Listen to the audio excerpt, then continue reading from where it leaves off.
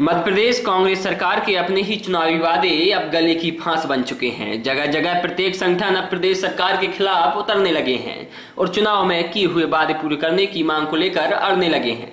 इसके साथ प्रदेश सरकार के खिलाफ उग्र आंदोलन करने की चेतावनी भी देने लगे हैं। ऐसे ही तीन मसले सुगनर में सामने आए हैं। आज सोमवार को अलग अलग संविदा कर्मियों ने मुख्यमंत्री के नाम डिप्टी कलेक्टर को ज्ञापन सौंपकर कांग्रेस पार्टी ने जो चुनाव में संविदा कर्मियों को स्थायी करने का वादा किया था वो पूरा करने की मांग की है। और ज़्यादातर संविदा कर्मी अब प्रदेश कांग्रेस की वादा खिलाफी को लेकर रोष व्यक्त कर रहे हैं और विरोध प्रदर्शन कर रहे हैं। सोमवार को कलेक्ट्रेट में पंचायत सहायक सचिव, आशा उषा कार्यकर्ता एवं किसान संघ ने मुख्यमंत्री के नाम डिप्टी कलेक्टर को ज्ञापन सौंपकर चुनाव में किया गया वादा सभी संविदा कर्मियों को स्थायी करने को लेकर ज्ञापन दिया है। साथ में सभी संविदा कर्मियों ने सरकार को चेतावनी भी दी है कि ये मांगा जल्दी नहीं की जाती तो सरकार की वादा खिलाफी को लेकर उग्र आंदोलन करेंगे।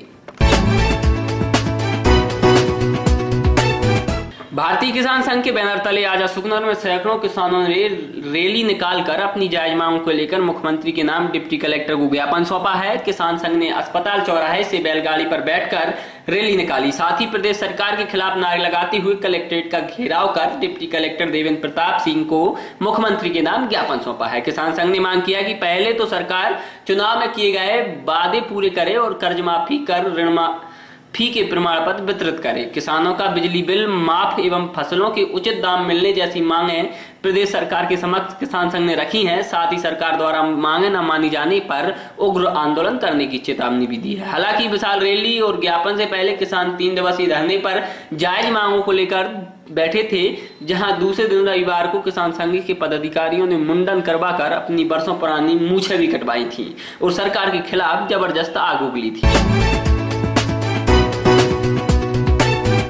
कुछ दिनों पहले एक आरक्षक की पिटाई की वीडियो वायरल हुई थी, जिसमें ग्रामीण एक आरक्षक को बुरी तरह से पीटते हुए दिखाई दे रहे थे। जिसके बाद आरक्षक बाजिद बेग ने अपनी शिकायत दर्ज भी करवाई थी, जिसके बाद पुलिस ने कार्रवाई करते हुए ग्रामीणों पर सरकारी कार्य में बाधा पहुँचाने और बिना कारण एक आरक्षक को पीटने पर पुलिस ने एफआईआर दर्ज कर आरक्षक की पिटाई करने वाले कुछ लोगों को अपनी हिरासत में लेकर जेल भेज दिया था। और कुछ अज्ञात लोगों की तलाश कर ही रही थी, तभी आज भारतीय जनता युवा मोर्चा एवं कुछ समाजों के लोगों ने कलेक्ट्रेट पहुंचकर पुलिस प्रशासन, मुर्दाबाद एवं पुलिस अधीक्षक के खिलाफ नारे लगाते हुए पुलिस की कार्य कार्य प्रणाली को लेकर प्रश्न चिन्ह लगाए हैं।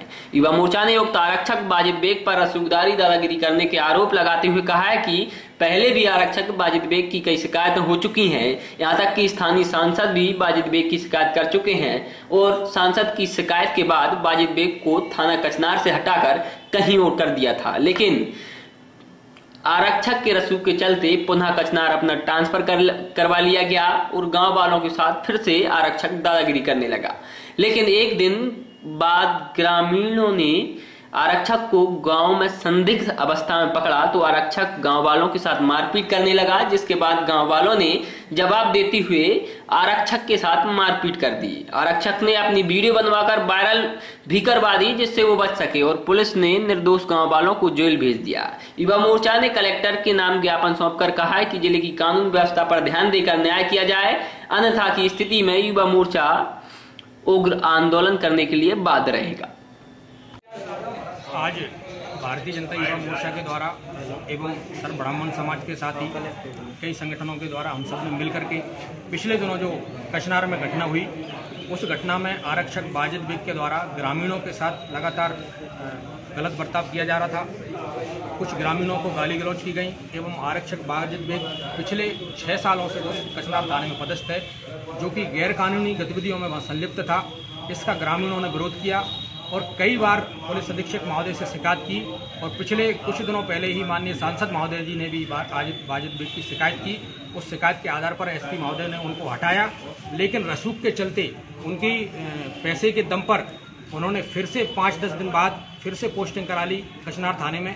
मैं पूछना चाहता हूँ पुलिस अधीक्षक महोदय जी से कि ऐसी क्या वजह थी कि आरक्षक बाजिद बेच को पुनः वहाँ पर पदस्थ किया? जब उसकी लगातार शिकायत ग्रामीणों के द्वारा मिल रही थी तो उसको दोबारा से क्यों वहाँ पर भेजा? इसके भेजने के बाद वहाँ घटना घटी।